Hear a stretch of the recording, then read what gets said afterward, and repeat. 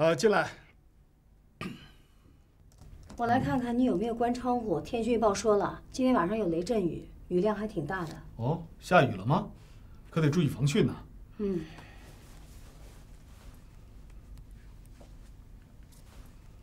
喂，张主任吗？我杨一夫啊。哎，今天晚上有大雨啊，你们做好了防雨防汛的准备没有？啊，一定要亲自落实，不能大意啊！啊。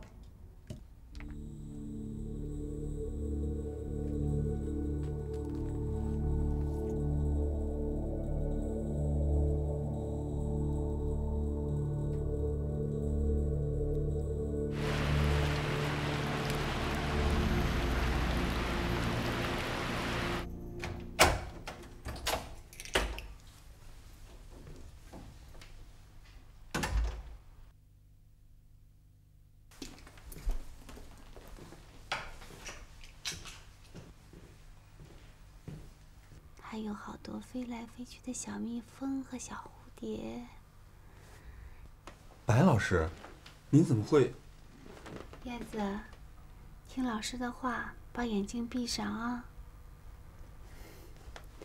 燕子啊，现在要想象自己在一个开满鲜花的小河边，河里边啊有好多好多的鱼。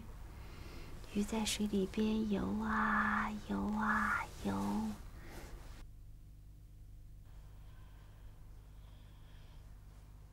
爸爸，白老师，我睡了，晚安，晚安。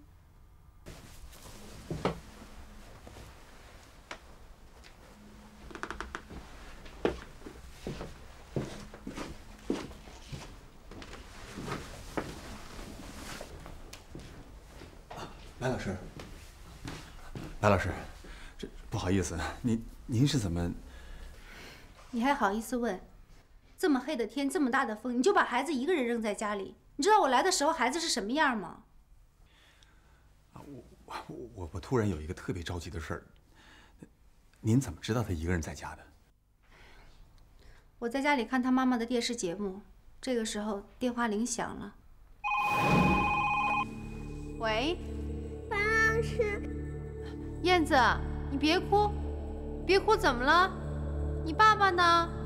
我妈妈不在家，我好害怕，你快点来。燕子，你别哭，你别哭，你别害怕，老师马上过来啊。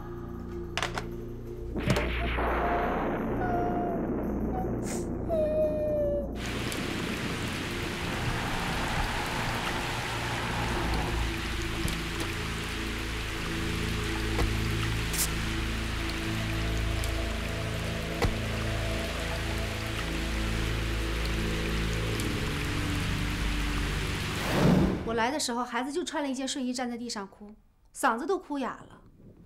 他毕竟才五岁。冯医生，我不知道你是怎么想的。是是，我我我不应该把他一个人放在家里。我也不知道你有什么重要的事非要在这个时候出门。算了，冯医生，也许我说这些根本就不合适。既然你已经回来了，我先走了，再见。哎，白老师，我我送送你吧。不用了，如果你有时间的话，希望你多陪陪孩子。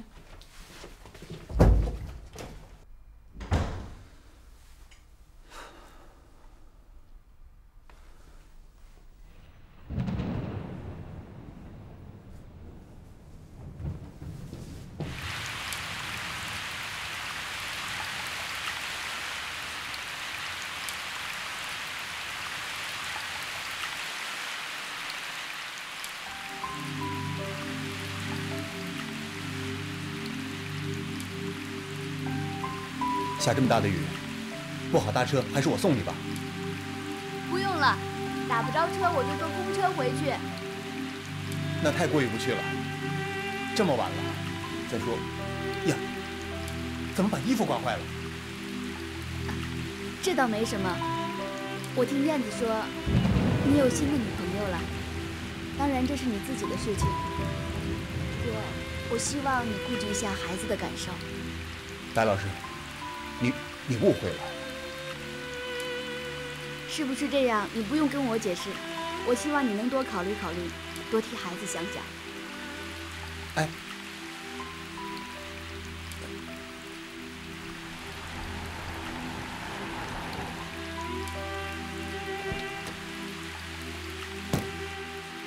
记得给燕子吃感冒药。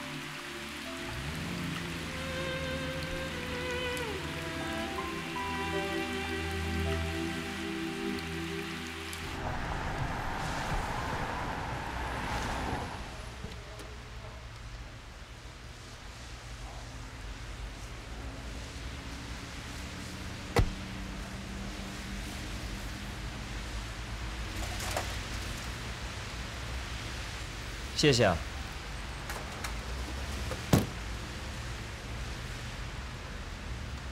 你没事吧？没事啊。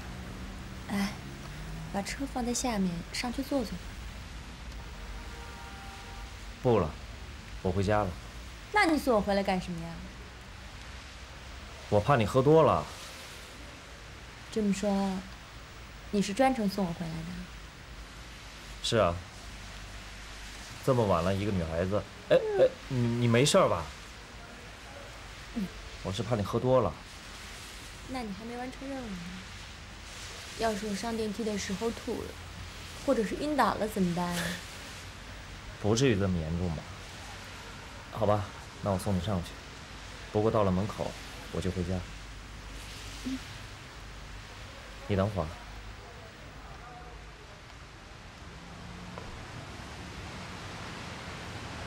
没事吧？走。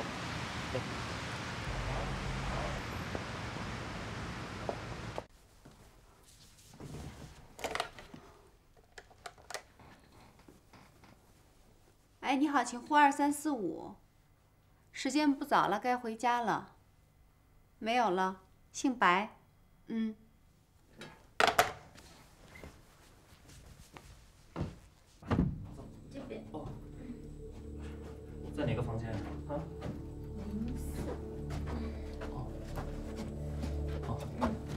房门钥匙呢？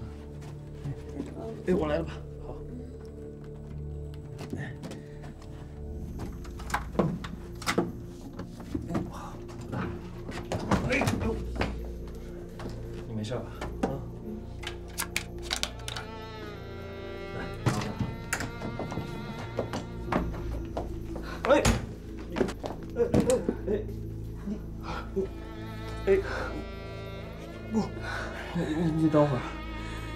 回家吧，啊？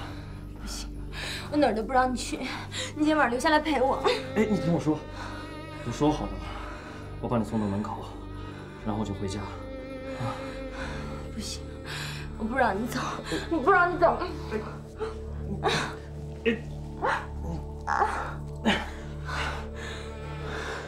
我真要回家了，我老婆还在家等我呢，真的。我不想听这个，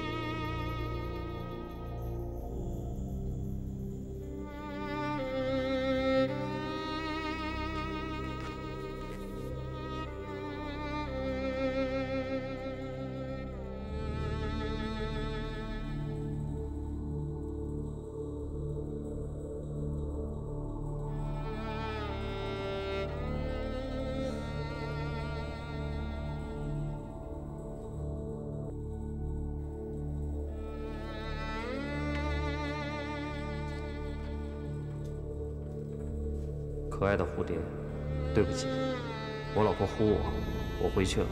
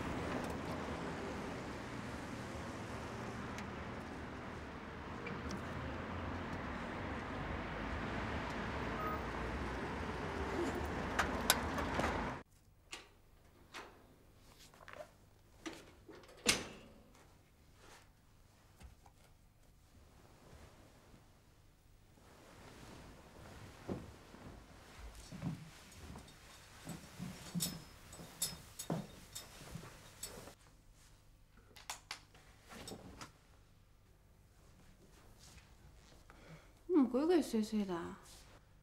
你才鬼鬼祟祟呢，一点声都不出，吓我一跳。外面还下吗？没下了，你去睡吧，别着凉了啊。我洗个澡。好。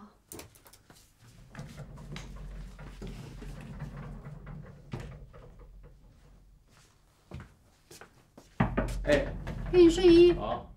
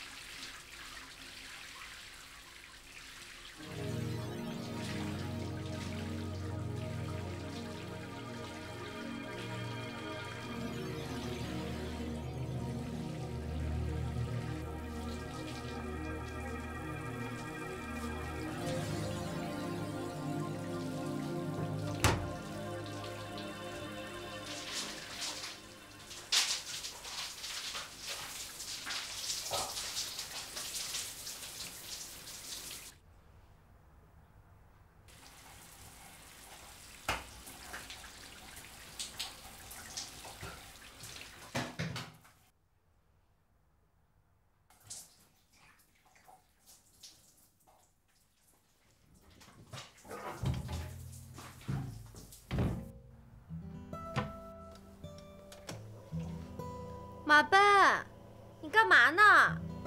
我啊，你没听见我在洗衣服啊？你非得今天洗啊？大半夜的洗衣服，明天洗不行啊？我怕那湿衣服放到明天会有味儿啊！我先过去。哎，我怎么闻你身上一股香水味儿啊？怎么回事啊？嗨，别提了。什么别提了？我说了也没意思。没意思？怎么怎怎么没意思了？哎哎，洗衣机停了，我去看看洗好没有啊？你别走，老公，我就让你告诉我是怎么回事。哎，我先把衣服晾好了再告诉你，好不好？不行，我让你现在说。嗨，酒吧那种地方你还不知道啊？经常有那种喝的烂醉如泥的，我就碰到这么一个，喝的醉醺醺的。嗯，小姐，你没事吧？啊？没事，谢谢啊。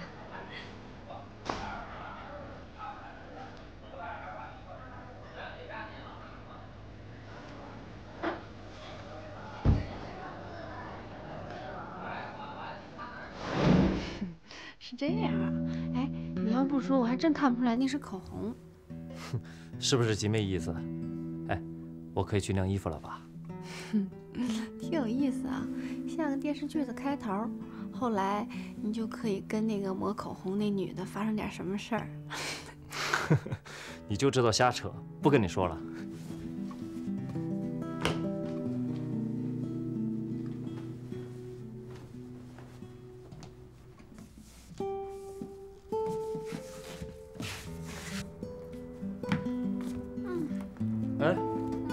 起来了？去睡吧。你不睡，我也睡不着。就几件衣服，一会儿就晾好了。嗯。这裙子怎么破了？哎呀，别提了，真是。我走的时候不看你穿穿的好好的吗？不是下雨吗？完了我就出去了一趟。下雨你还出去啊？不会是姓冯的找你吧？那个，嗯，那个白雪公主没吃饭呢吧？她猫粮哪儿去了？哦，在那边那个柜子里面。嗯，我去看看。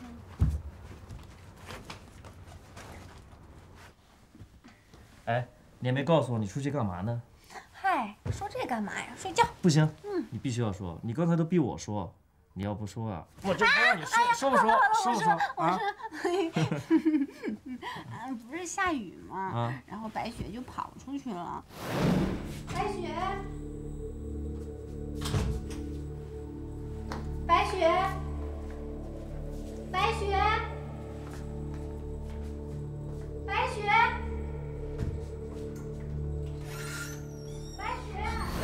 下的那么大，我眼睛都看不清了，一不小心就刮到栏杆上了，就把裙子给刮破了。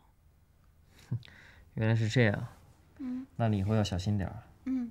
睡吧，啊。嗯。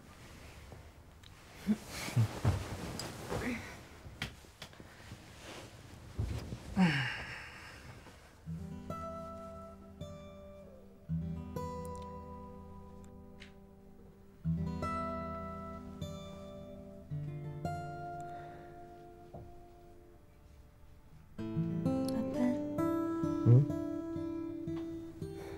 着我好吗？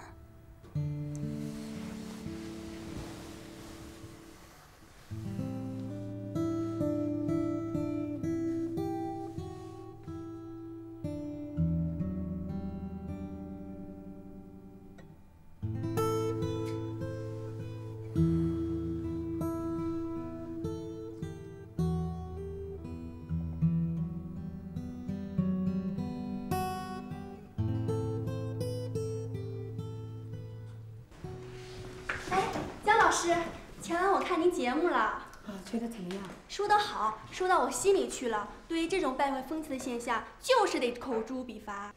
不是还有赞成一夜情的吗？对他的观点怎么看？那都叫强词夺理。你看，有的连真脸都不肯露，可见还是见不得人。行啊，江玲，都成电视明星了，什么呀？就是做个节目。不错嘛。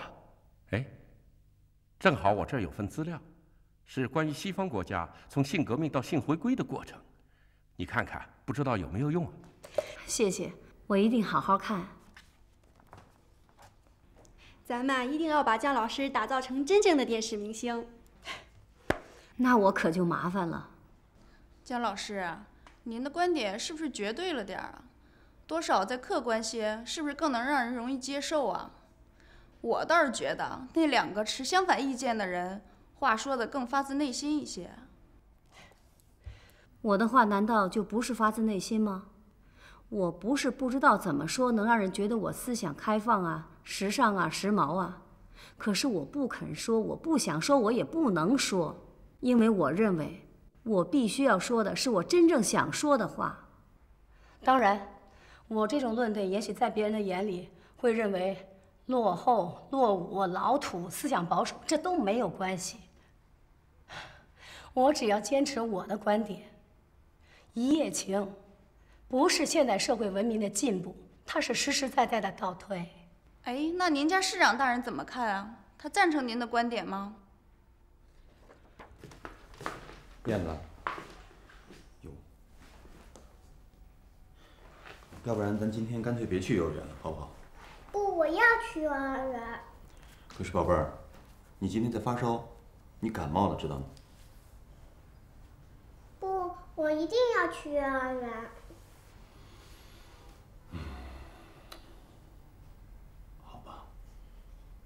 我们走。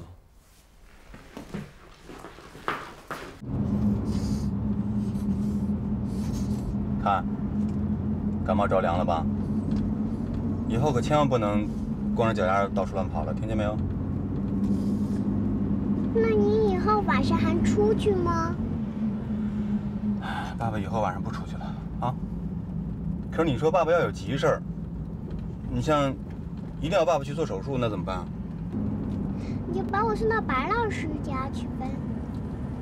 要白老师不高兴呢？不可能，白老师最喜欢我了。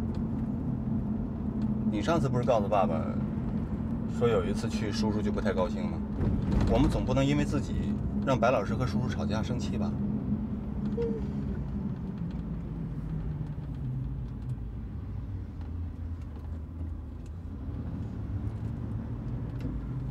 你告诉白老师，说不喜欢小孔阿姨啊？啊？我就是不喜欢他。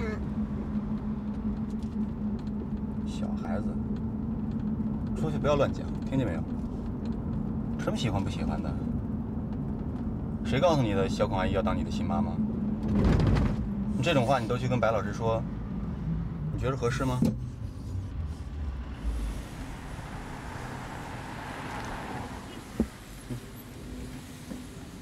记着，你在爸爸心目中永远都是最重要的啊！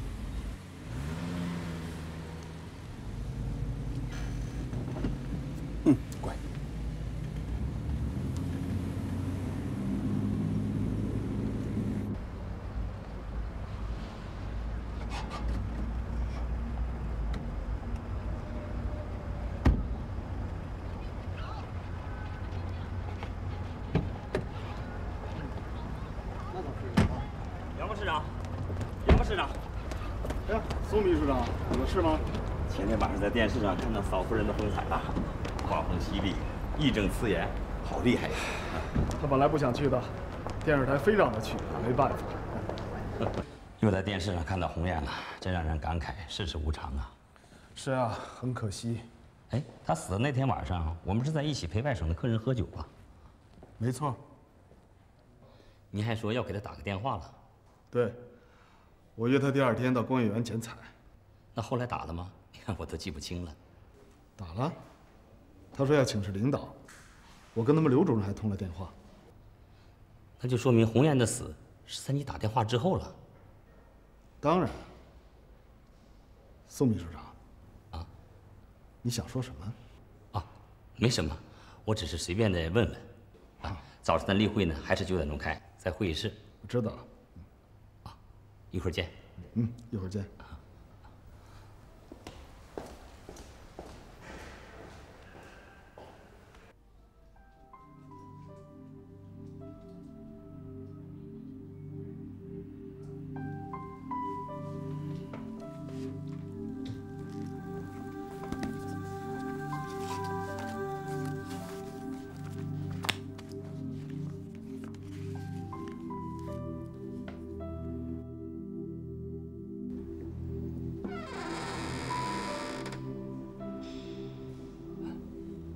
杨副市长，啊？怎么？开会的时间到了。啊，好好，我马上就来。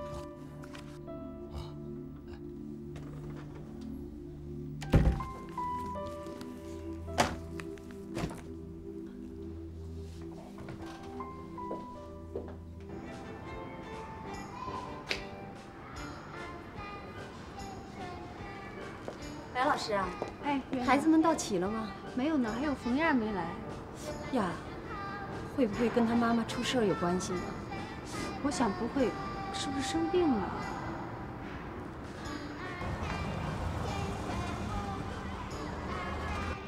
来了，我先过去看看。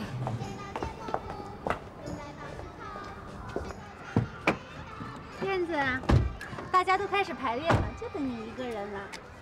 今天孩子有点发烧，本来我不想让他过来了，可是他自己一定要坚持过来。来就对了，小朋友们在一起唱一唱，蹦一蹦，没准一会儿就好了。呃，那我就把孩子交给你们了，谢谢，给你们添麻烦。呃，这是药，有事给我打电话。好的，你就放心上班吧。好，燕子，跟爸爸说再见。爸爸再见。再见，听话啊。再见啊。嗯。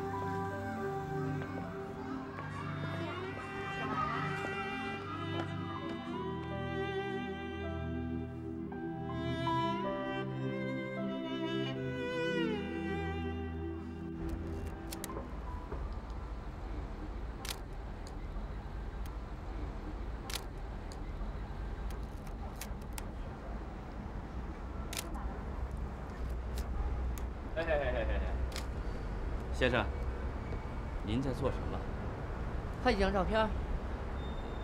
您拍我们店的照片做什么用？你是什么人？哦，我是这儿饭店经理。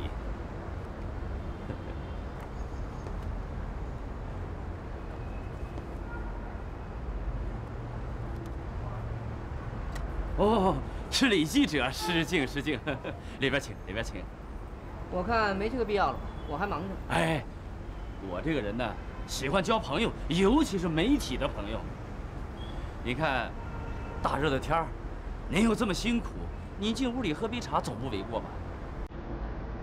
那，请请请吧，我们店现在正好清静的很，请。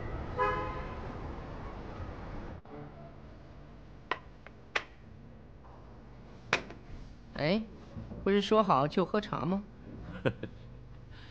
外国人讲究喝酒开胃，中国人讲究喝茶要吃点心。我这是中西合璧，咱们先喝酒开开胃，然后喝茶。喝过茶，咱们上点心。哎，我们这的面点师那可是在电视烹饪大赛获过金奖的。那好啊。那就把那天晚上鸿雁吃的点心照样给我上一份吧。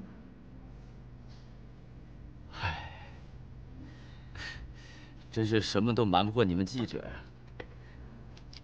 为这事儿，我们真是被弄得焦头烂额。其实对鸿雁小姐，我们是衷心的欢迎，热情的款待。谁知道她怎么会？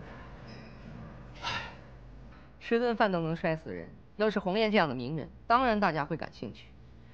听说红艳的丈夫已经决定起诉你们了。是，这场官司要是打下来，我们这个店就得关张。李记者，您看有没有什么办法可以挽救啊？我能有什么办法？最多把你们饭店的照片发到网上，替你们宣传宣传。哎，别，别别别别！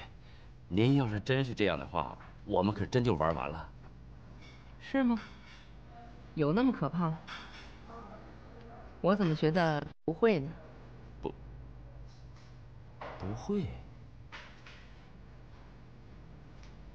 现在有几家赞助单位？你是那个的。告诉大家一个好消息，上周电视的调查结果啊，在所有的电视栏目当中，我们的《都市夜话》排行第一耶大家还得要。再厉啊！争取下周啊继续夺魁。没问题。我觉得呀，也是红叶在冥冥之中保佑着我们。当然了，这少不了您老人家的英明领导啊。喂，何姐啊，我韩东啊。喂。喂。喂。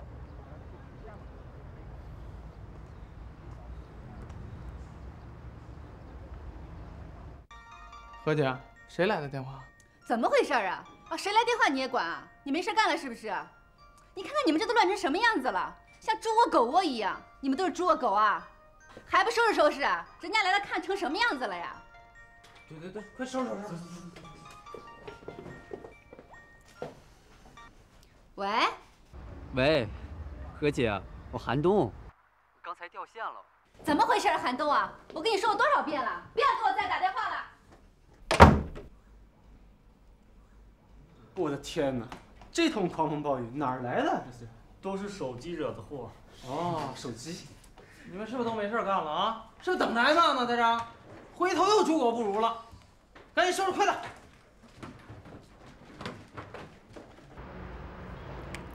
韩东，我再说一遍，不要再纠缠我。姐，我没办法了，我，我刚刚被台里开除了，知道吗？什么？你被开除了，姐，我现在已经无路可走了，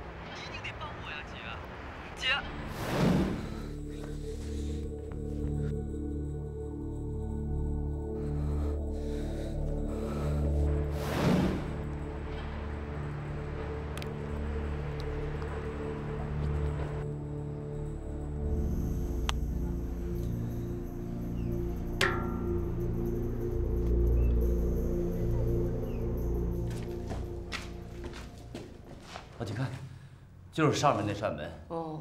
工人施工完了，门忘锁了，这是我们的失误。可上面没开灯，黑咕隆咚的，谁轻易也不会进去。谁知道他偏偏也就进去了。你知道他进去干什么吗？我哪知道？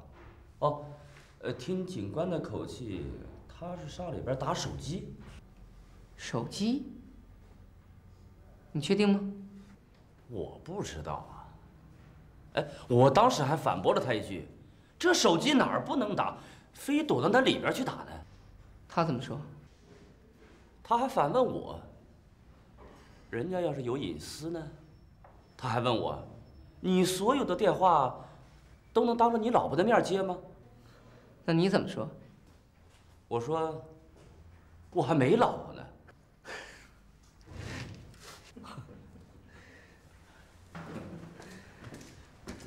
哎，经理，我说你还没把栏杆给装上呢。哎呀，这一出事儿啊，工人全跑了。哦，不是说打官司吗？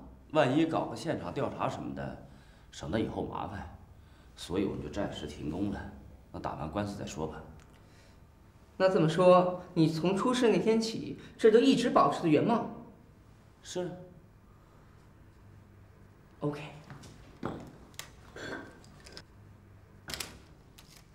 哎哎，李记者，啊，您拍这个是不是要发表啊？当然要发呀，不发我拍它干什么？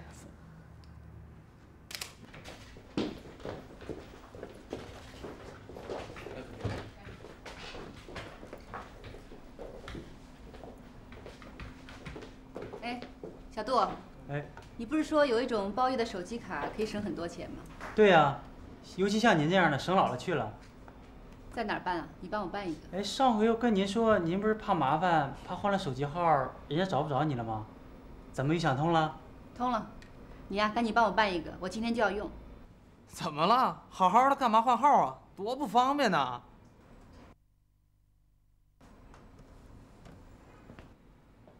好，好，好，您老人家爱怎么着就怎么着吧。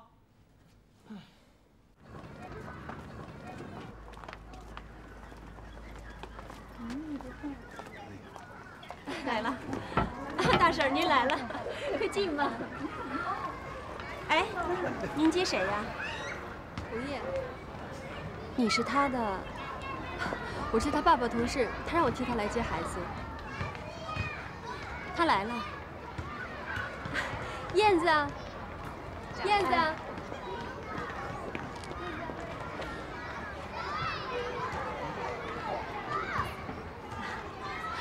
爸爸呢？是白老师吧？冯医生有个大手术来不了，让我来接他。哦，那你怎么称呼？我叫孔玲，跟他爸爸是一个科室的。老听他说起你。燕子，你看阿姨来接你了，为什么不问阿姨好啊？白老师，我先回屋了，等爸爸来了你再叫我。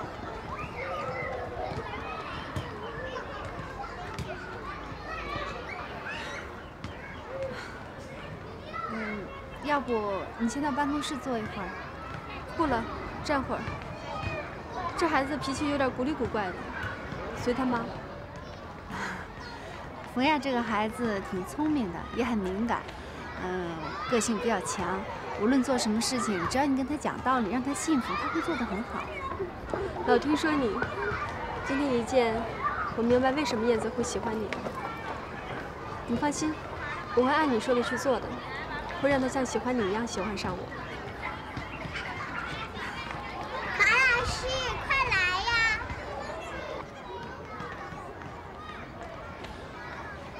不好意思，我去看一下。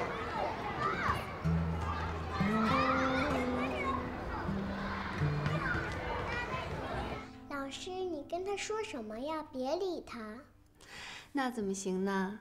他是你爸爸的同事，又是来接你的，你要是不理人家的话，是不是太不礼貌了？嗯。我不喜欢他，也不让爸爸喜欢他。可是你爸爸总是要给你找一个新妈妈呀，他不可能永远都一个人，对不对？哎，白老师，我有一个很棒的想法。嗯，什么想法？能告诉老师吗？我我想让你当我的新妈妈，好不好？这算什么想法呀？嗯，这样可不好。嗯，为什么？那马奔叔叔怎么办呢？那让他跟小孔阿姨呗。你脑子里都在想些什么？乱七八糟的。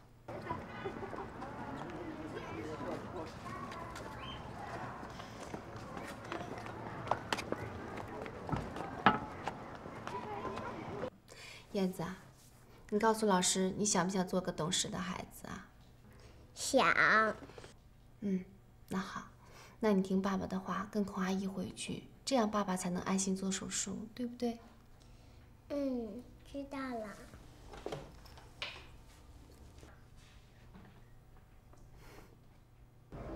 经理，听我的，你马上召集工人把楼梯修好，把楼道打扫干净，最好是铺上红地毯。至于什么时候启用，听我安排。其他的一切营业全部照常。如果有人问起鸿雁的事情，你们就说不清楚，让他们看《时报》或者登录我们的网站，网址我名片上有。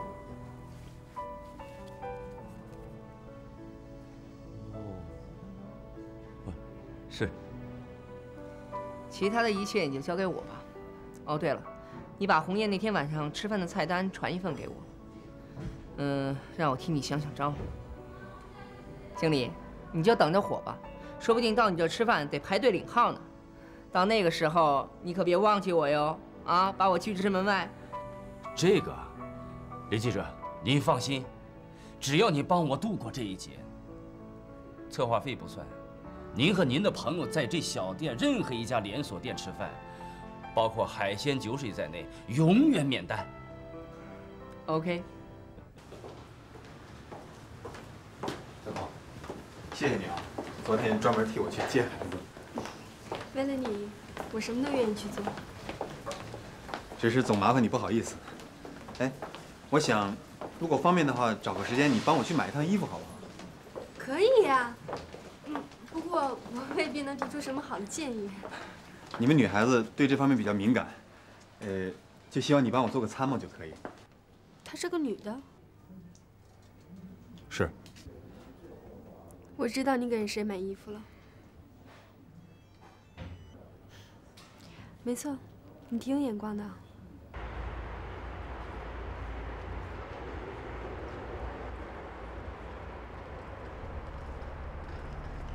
刘，姐，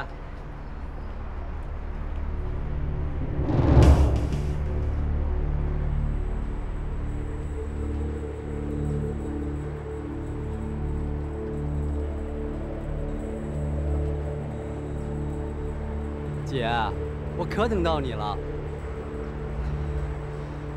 你怎么来了？我打你电话多少次，都说是空号，我只好来找你了。一大早下了火车，打你家里电话，家里没人，找到这儿来，人家还不让进。打分机吧，还老占线。哎，你好，我不是跟你说过不要来找我吗？姐，您就是赶我走，也得让我吃饱了再走吧。我到现在还没吃饭呢。那再说，这也不是谈话的地方。那咖啡姐啊，哎，你好，跟我走吧。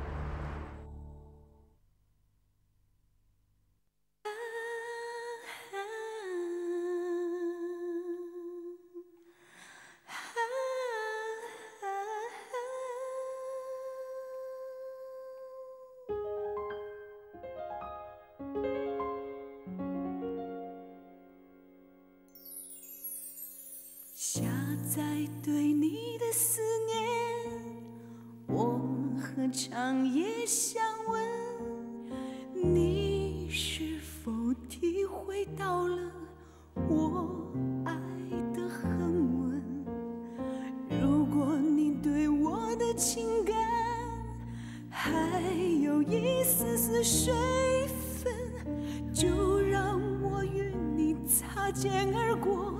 不要转身，不要转身，错过了路标，我在相信自己。